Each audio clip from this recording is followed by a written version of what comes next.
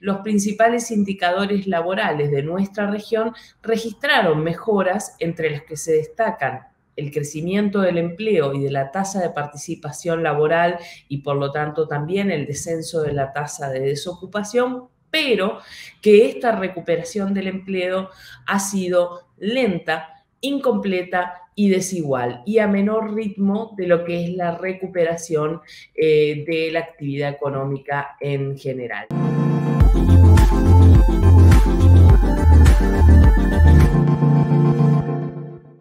Y lo decíamos recién, lo presentábamos, Karina Batiani, directora ejecutiva de Claxo. Bienvenida nuevamente al InfoClaxo. ¿Cómo estás, Karina? ¿Cómo estás tú? Bienvenida nuevamente aquí.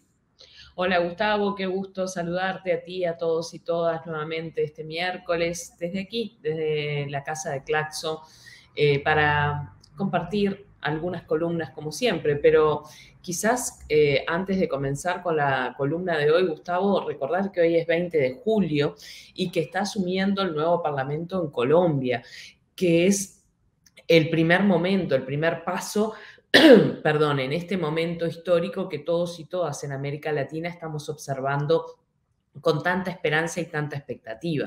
Sí, Karina, la verdad que es un momento importante. Veníamos relevando algunas de las cuestiones relacionadas con lo que sucede en Colombia en la perspectiva local, pero también en la perspectiva eh, regional, porque evidentemente cuando uno habla ahí de Colombia, uno está pensando no solo en lo que sucede en lo local, digo, el impacto de un nuevo gobierno, en lo que en muchas ocasiones, Karina, fue el centro del neoliberalismo, el centro de las lógicas más neoliberales. Bueno, en ese camino, evidentemente, eh, vemos eh, en Colombia que este cambio tiene un impacto local, pero sin lugar a duda el impacto puede estar enmarcado en lógica regional y posiblemente eso es lo más contundente, porque lo vimos como las protestas de Chile no tuvieron solo impacto transformador en Chile, sino que la región miraba Chile y se miraba de otra manera. Imagino que en Colombia es lo mismo, ¿no? Con Colombia es la misma lógica.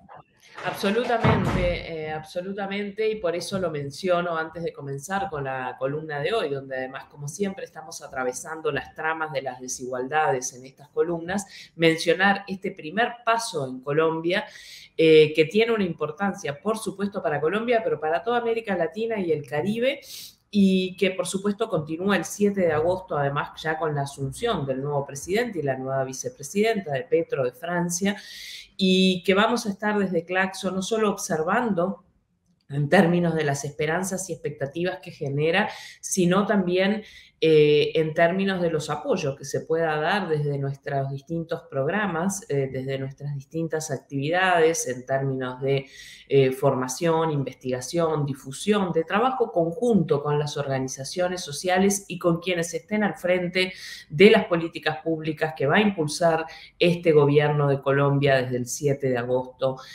bueno, encontrarán en Claxo, por supuesto, un aliado para construir esas sociedades más justas, más equitativas y para mm, llevar adelante esto que es una oportunidad histórica eh, para Colombia, que como tú bien decías, tiene incidencia en toda la región. Entonces no quería comenzar eh, la columna sin eh, mencionar lo que está ocurriendo en este momento en Colombia y que nos llena a todos y a todas de mucha esperanza.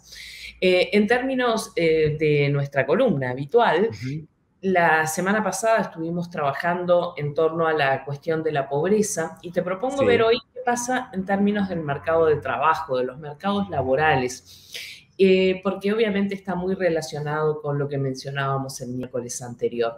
Y si tuviera que resumirlo en una frase, diría básicamente que observamos un retraso eh, de la recuperación de los niveles de empleo anteriores a la pandemia, es decir, en 2019, en comparación con lo que estamos observando en términos de recuperación de la actividad económica en los países. Y esto quedó muy claro en un informe que recientemente presentaron eh, la CEPAL y la OIT, la Comisión Económica para América Latina y la Organización Internacional del Trabajo, ambos organismos de Naciones Unidas, y que eh, plantean qué es lo que está ocurriendo tanto a nivel de las economías de la región como el traslado de esa cuestión económica a los mercados de trabajo. Y allí nos plantean que en un contexto en que las economías de la región crecieron durante 2021, último dato disponible, ¿verdad?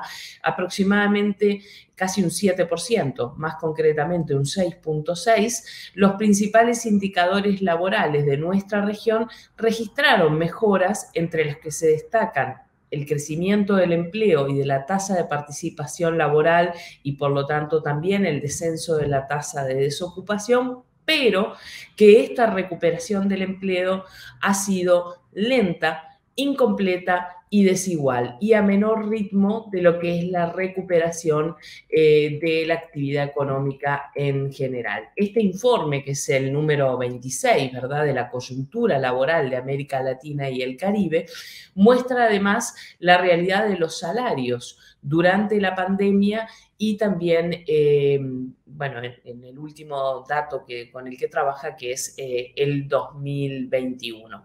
Y habla allí de la evolución y los desafíos de estos salarios, eh, donde se plantea con mucha claridad el retraso de la recuperación de los niveles de empleo anteriores a la pandemia y de los niveles salariales anteriores a la pandemia.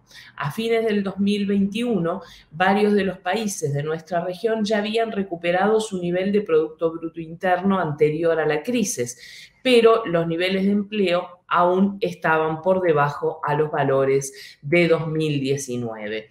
Eh, siempre siguiendo estas cifras, estos datos del informe de CEPAL y OIT, Después de la histórica contracción que se registró en el número de ocupados en la región en 2020, recordemos el año del impacto de la pandemia, esa contracción en el número de ocupados que fue del 8%, en 2021 se produjo una recuperación importante de ese indicador que fue de una recuperación del 7% eh, llevado a cifras anuales.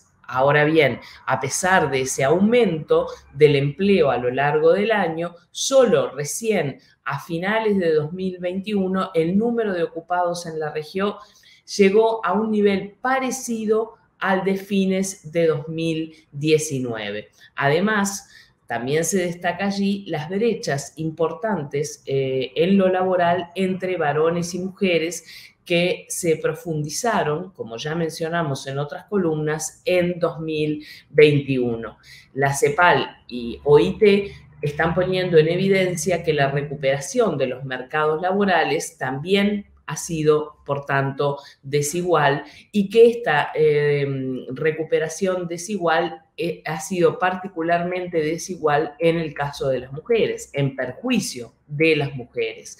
Si bien se registra una mejora en el empleo y en la participación, tanto para los varones como para las mujeres, eh, esta recuperación ha sido mayor en el caso de los varones que en el caso de las mujeres. La crisis de la pandemia del COVID-19 eh, afectó de manera más significativa los sectores de empleo femenino, registrándose, por tanto, un retroceso equivalente a más de 18 años en los niveles de la tasa de participación de las mujeres. Este dato ya lo habíamos manejado aquí, Gustavo, pero creo que es bueno traerlo nuevamente para que, eh, bueno, para cuando hablamos de mercado de trabajo, también tener en consideración eh, esta eh, desigualdad entre varones y mujeres. Eh, las mayores caídas, además, en el caso de las mujeres en los niveles de ocupación, ocurrieron entre las mujeres que eh, viven en hogares con niños o niñas entre 0 y 4 años. Allí la caída estuvo casi cercana al 12%. Esto muestra una vez más eh, bueno, las desigualdades de género preexistentes, pero cómo también influye la cuestión del cuidado en el mercado del trabajo y eh, la necesidad de eh, avanzar en los servicios de cuidado eh, para particularmente los niños, las niñas entre 0 y 4 años. Ahora bien, este informe de la CEPAL y OIT también nos muestra que la crisis sanitaria del COVID-19 tuvo efectos importantes, como decía, en los salarios de la región. Por un lado, en términos del impacto de la evolución reciente de la inflación, eh, que se ha observado con mayor claridad en los salarios mínimos reales y cuya capacidad de compra disminuyó en 2021. Este proceso inflacionario que estamos observando, bueno, ahora en 2022, pero que comenzó en 2021, tiene consecuencias directas sobre los salarios reales de la población en América Latina y el Caribe. Los salarios reales promedio de la región en 2021 estuvieron aproximadamente un 7% por debajo de los niveles anteriores a la pandemia. Hoy, en definitiva, lo que trabajadores y trabajadoras en América Latina están recibiendo eh, por eh, su trabajo está un 7% por debajo de los niveles pre pandemia. Esto, como sabemos, se está agravando además en 2022 por muchas razones, entre otras eh, por el conflicto, eh, por la guerra entre Rusia y Ucrania y, eh, bueno, las consecuencias inflacionarias que está teniendo esto en la economía mundial.